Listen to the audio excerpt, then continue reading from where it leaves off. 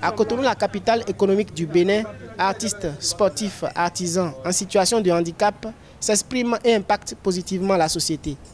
Passionné des petites bricoles électroniques dès l'enfance, Djibril Imoou, technicien en maintenance informatique, s'est installé à son propre compte depuis 2003 à Cotonou.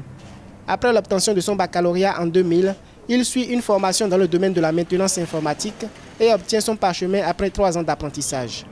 Multidisciplinaire, Djibril Imoru est également handi-basketteur, joueur de l'équipe nationale épongiste. Je suis pongiste, je fais du tennis de table. J'ai représenté plusieurs fois le Bénin à des compétitions sous-régionales en tennis de table. J'ai été plusieurs fois médaillé et je fais du badminton. Donc vous voyez, euh, seul à son actif, j'ai au moins trois disciplines que je fais. Donc c'est dit que le sport aussi fait partie intégrante de, de ma vie. Le sport fait partie, je vais dire, la moitié de ma vie aussi. À l'instar de Djibril Imoru, Masta MC s'est investi dans les domaines de la musique, la mode et le sport. Son premier clip intitulé Master S l'a propulsé au devant de la scène musicale africaine en 2007. Mes ambitions, c'est vraiment euh, de, me positionner très fort dans tout ce que j'entreprends.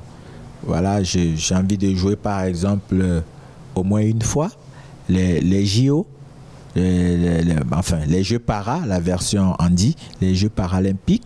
Et j'ai envie de monter, par exemple, dans le domaine de, la mode sur de grands podiums pour des, grands couturiers africains. Dans la périphérie de Cotonou, l'artiste chanteuse Miss Espoir se consacre à l'entrepreneuriat et crée le restaurant intitulé La Belle Robe. En dehors de la musique, l'artiste au cœur d'or effectue des œuvres caritatives à l'endroit des enfants démunis via sa fondation Yaovi Ahamada. C'était prévu depuis, je crois, 8 ans, je devais le faire. C'est pas nouveau, quoi.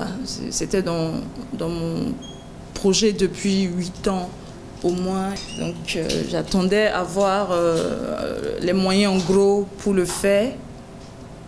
Et après, je me suis dit, il faut que j'attende euh, d'avoir 10 millions. Je ne vais jamais y arriver. J'ai dit, OK, allez, lance-toi. Et je me suis lancée aujourd'hui, donc voilà. A noter que la loi sur la protection et la promotion des personnes handicapées est en vigueur depuis septembre 2017. Cependant, les bénéficiaires demeurent en attente des décrets d'application. L'une des innovations de cette loi constitue la carte d'égalité des chances, une pièce qui permet à son titulaire de bénéficier des droits et avantages en matière d'accès aux soins de santé, d'éducation, de formation professionnelle, d'emploi, de communication, d'intégration sociale, de transport.